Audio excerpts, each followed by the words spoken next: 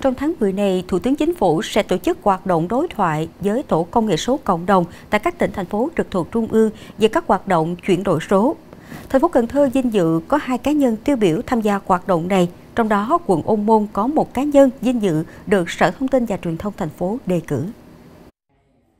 Cá nhân dinh dự đó là chị Trần Ngọc Quỳnh Anh, bí thư chi đoàn, thành viên tổ công nghệ số cộng đồng khu vực Hòa Thạnh A, phường Thới Hòa, quận Ô Môn. Trong quá trình công tác, bản thân chị Quỳnh Anh và tổ công nghệ số cộng đồng ra quân hướng dẫn người dân sử dụng các dịch vụ, các ứng dụng số vào các ngày thứ ba, thứ năm và chủ nhật hàng tuần. Đến nay đã tổ chức được 96 cuộc với gần 1.000 lượt người tham gia. Qua đó đã góp phần tạo 360 tài khoản VNeID và hơn 300 lượt cài ứng dụng Cần Thơ Smart trên điện thoại thông minh. Phối hợp cùng việc Viettel môn triển khai cài đặt ứng dụng chuyển đổi số Viettel Money và chữ ký số MySys cho người dân trên địa bàn khu vực được 93 tài khoản, tạo 130 mã QR code để thanh toán không dùng tiền mặt tại các cửa hàng, cơ sở kinh doanh, buôn bán, hướng dẫn gần 250 lượt người sử dụng dịch vụ công trực tuyến để nộp hồ sơ hành chính, góp phần thay đổi từ nhận thức đến thói quen của người dân về sử dụng công nghệ số.